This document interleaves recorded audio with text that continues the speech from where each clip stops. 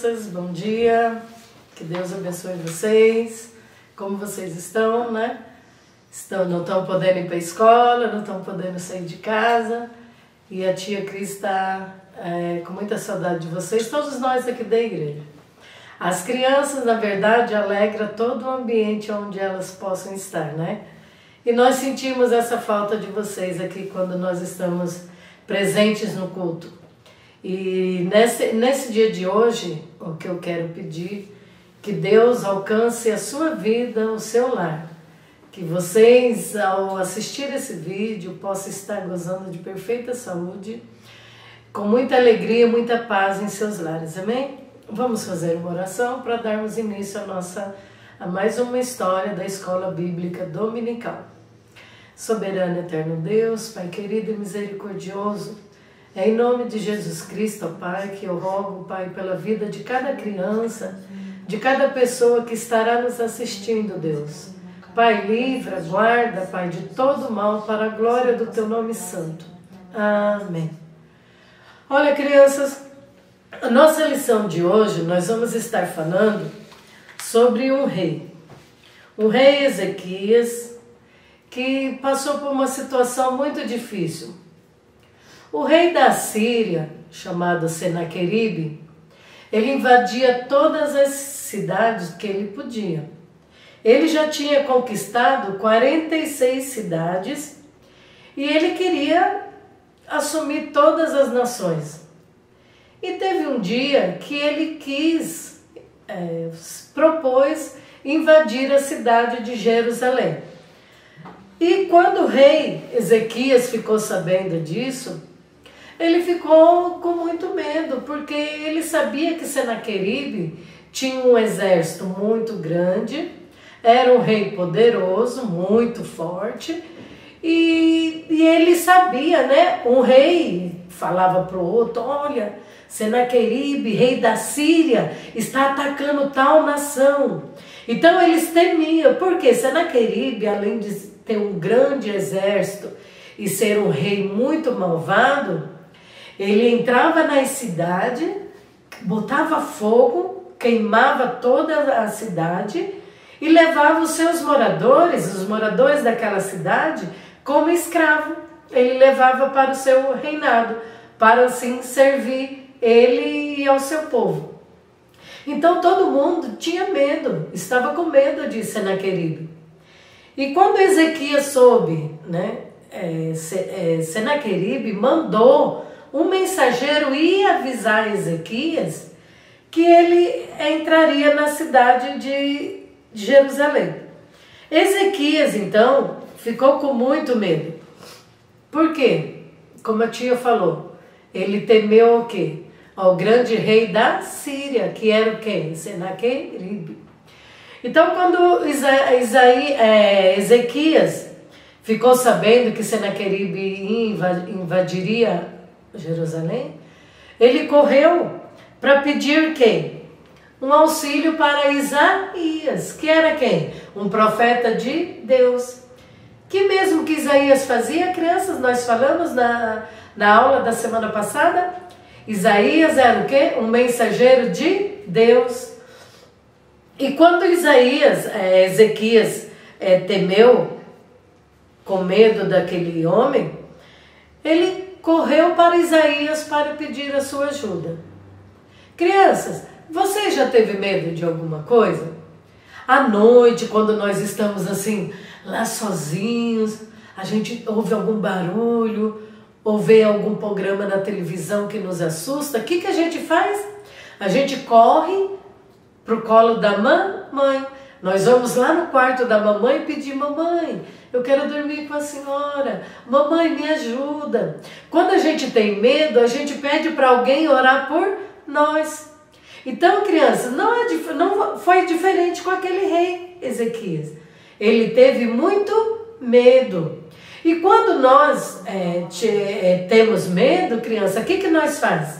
A gente sempre corre para um lugar seguro, um lugar que vai nos trazer o quê? muita paz e acalmar o que? O nosso coração. E não foi diferente com o rei Ezequias. Ele foi até quem? Isaías. Isaías era um profeta de Deus, como nós falamos na outra lição, e ele era o que? O mensageiro de Deus. Ele pregava o que? A paz e o amor de Deus. Então, Isaías foi diante de Deus e intercedeu pela nação e pelo profeta Ezequias. E Deus mandou que Isaías dissesse que nada ia acontecer, que Deus o que ia defender Isaías e aquele país onde ele morava. Então Ezequias ficou tranquilo, né? Nossa, Deus vai me guardar, vai guardar a nossa cidade. E mas só que de repente o rei Senaqueribe viu que o rei Ezequias estava muito sossegado. Ele mesmo foi lá. Foi lá e falou assim: "Ó, oh, escuta aqui, ele mandou uma carta". E quando o rei Ezequias leu, ele ficou apavorado. Porque é, Senaqueribe escreveu assim na sua carta: Olha, não pense você que o seu Deus em quem você confia é, vai guardar Jerusalém. Ele não vai, não. Ele não vai livrar Jerusalém das minhas mãos, não. E muito menos você. Não deixa que esse Deus te engane, não, viu? Aí Ezequias ficou, hum, poxa vida, esse homem, ele é muito poderoso. Ele está enfrentando quem agora? O meu Deus. Aí, crianças, olha só. O que, que aconteceu? Ezequias falou: Oh, meu Deus, me guarda. Ezequias foi, dobrou seu joelho. Ele ficou com tanto medo. O que, que a tia Cris falou? Olha, quando nós sentimos medo, nós corremos para algum lugar que vai o quê? Nos acalmar trazer paz ao nosso coração. Ezequias ficou com tanto medo que ele não foi mais atrás de Isaías para pedir para Isaías orar, pedir a Deus que o guardasse. Ele mesmo dobrou o seu joelho e mostrou a carta para Deus. Ele pegou aquele papel, aquela carta e fez, olha Deus, né, orando para Deus, porque ele estava com muito medo, ele estava apavorado. Ele olhou assim e falou: Olha, Deus, essa carta que Senaqueribe, o rei da Síria, me mandou. Ele não está nos afrontando, ele está afrontando a ti. Por quê? Ele quer, ele, Senaqueribe queria desestriturar o povo. Senaqueribe, a intenção de, de Senaqueribe era desqualificar o quê? A Deus. Ele queria que aquele povo deixasse de acreditar em Deus. Então, quando ele falou: Olha, Deus falou que vai guardar vocês, ah, não deixa ele enganar vocês, não, viu? Porque não tem, olha, até aqui, em todas as nações que eu entrei, não teve um Deus que guardou a cidade nem aquele povo. Porque eu sou poderoso, o meu exército é poderoso. E eu vou entrar em Jerusalém, vou mostrar para vocês que esse Deus que vocês servem não é de nada, assim como os deuses das outras nações. Então, quando é, Ezequias dobrou seu joelho, ele falou para Deus: Olha, Senhor, aquele o Senaqueribe ele já invadiu 46 cidades. E todas as cidades que ele conquistou, ele fazia o quê? Ele invadia, botava fogo e pegava os moradores e levava como escravo para o seu país, que era quem? A Síria. Então, quando o Senaqueribe viu que Ezequias estava tranquilo, ele começou a afrontar o quê? A mexer com a fé daquele povo, falando que Deus não ia fazer nada por eles. Então, crianças, quando Ezequias dobrou seu joelho e orou a Deus e pediu que Deus enviasse o socorro para aquela cidade, olha só aqui. Ezequias estava o quê? Com muito medo. Olha só a cara de medo dele. Ai, meu Deus, nos ajude. Olha só, ele estava o quê? Tremendo e temendo. Por quê? Ele ficou com medo, porque além do, do rei Senaqueribe botar fogo na cidade, levar todos os moradores como escravo, Senaqueribe matava o rei das cidades que ele invadia. Então Ezequias ficou com muito medo e orou a Deus. E Deus então falou para quê? Para Ezequias: de Ezequias, eu te ouvi, e o rei da Síria não entrará nessa cidade, porque eu vou defender, eu a defenderei, eu a defenderei. Então, crianças, olha só. O rei Ezequias, com medo por sua vida e pela vida dos moradores da cidade, o que, que ele fez? Ele clamou a Deus. E Deus enviou uma resposta. Deus já havia dado uma resposta pelos profeta Isaías que nem, nem o mal chegaria àquela cidade. Só que quando Senaqueribe veio e afrontou mais ainda a Deus, Ezequias ficou com mais medo. E foi o que? Foi orar. Ele orou a Deus. Então, crianças, quando chegou a noite, o que, que aconteceu? O exército do rei da Síria estava ao redor dos muros de Jerusalém. Eles estavam todos acampados. Passou o dia acampado, né? Que eles ficavam vários dias sondando a cidade, é, armando uma estratégia como que eles entrariam, invadiria a cidade. Então, quando chegou a noite, que todos aqueles soldados estavam dormindo, o rei Senaqueribe sossegado, confiando no seu poder, na sua força e no seu exército, o que, que Deus faz para ajudar Jerusalém? Deus envia um anjo do céu com uma espada e passa no meio do arraial lá dos assírios, do de todo aquele exército dos assírios que estava ali aguardando o dia amanhecer para eles invadir a cidade de Jerusalém. E aquele anjo matou quase todos aqueles inimigos do povo de Deus. Aí o que, que aconteceu, tia? Aconteceu que quando amanheceu, o rei da Síria, Senaqueribe, levanta para reunir os seus soldados para entrar, invadir a cidade de Jerusalém, o que, que acontece? Quase todo o seu exército estava morto. É, Senaqueribe ficou o quê? Com muito medo. Aí ele temeu a quem? A Deus. Ele pegou o que sobrou e voltou para a Síria. E lá ele ficou quietinho. Nunca mais ele quis invadir a cidade de Jerusalém. Por que, crianças, ele não queria mais invadir a cidade de Jerusalém? Porque ele sabia que Jerusalém tinha um Deus que guardava a cidade. Que o Deus que guardava a cidade de Jerusalém era muito mais poderoso do que todo o seu exército de soldados soldados armados até os dentes, né? Com espada, com ar, com é, aquelas é, coisas de fogo, com lança, com as suas armaduras.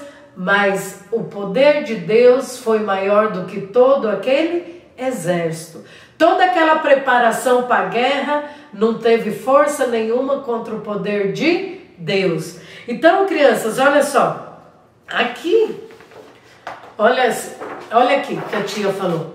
À noite, o anjo, olha, à noite o anjo do Senhor passou no meio do arraial dos assírios. Olha só, ele estava lá dormindo, fizeram uma fogueirinha lá dentro das cabanas, estavam lá todos sossegados, comendo seus alimentos, uns dormindo, e todos preparando uma armadilha contra o povo de Deus. Mas Deus venceu todo aquele mal, porque Ezequias fez o que? Se humilhou. Procurou quem? O socorro de Deus, aquele que tem todo o seu poder em suas mãos para agir em nosso favor. O que a tia quer hoje, nesta manhã? que vocês saibam, crianças, que não importa a situação difícil que nós estamos passando. Muitas pessoas, eu, a sua família, muitos nossos amigos estão com medo desse é, vírus que está aí matando as pessoas, né? O Covid-19. Mas até aqui, Deus tem guardado as nossas vidas. Deus tem guardado a vida daqueles que nós amamos. Deus tem guardado, crianças, aos nossos amigos. Muitos amigos da nossa escola, Deus está guardando. Os nossos professores, Deus está guardando. Os nossos pais, os nossos avós, Deus está guardando. Mas também eles têm que fazer a parte deles, não é verdade, tia? Sim, é verdade.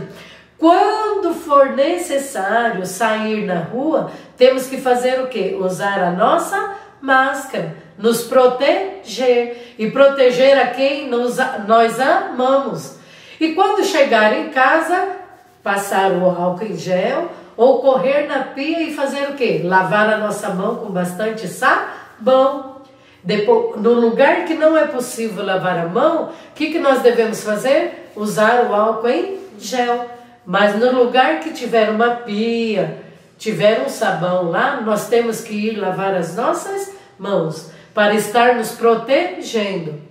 Quando é impossível nós nos proteger, quem é que nos protege, criança? Quem é que está conosco em todos os momentos? O nosso Deus. Nos momentos que nós podemos nos proteger, nós fazemos o que for, o que está ao nosso alcance. Mas quando nós não podemos, Deus entra em ação. Todas aquelas pessoas que levantam contra a nossa vida, desejando o mal, querendo nos fazer o mal, Deus sempre nos socorre. Nós devemos tratar o mal com mal, crianças? Nunca, jamais. Nós devemos fazer o quê? tratar o mal com o bem. Se tem alguém que me odeia, eu tenho que fazer o quê? Amá-lo.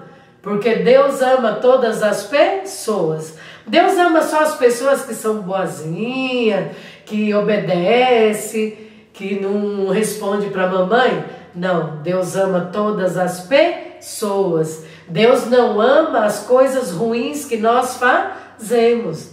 Por isso que nós temos que estar sempre o quê? buscando aprender de Deus como nós podemos o que? Nos arrepender das coisas ruins que nós fazemos. Amém, crianças? E através hoje da história de eh, Ezequias, esse rei que ficou com medo, nós temos, nós aprendemos o quê? Que toda vez que nós tivermos medo de alguma coisa ou de alguém, devemos procurar sempre um lugar seguro. Procurar o quê? Ah, o colo da mamãe? Sim, mas tem crianças que não tem mais a mamãe.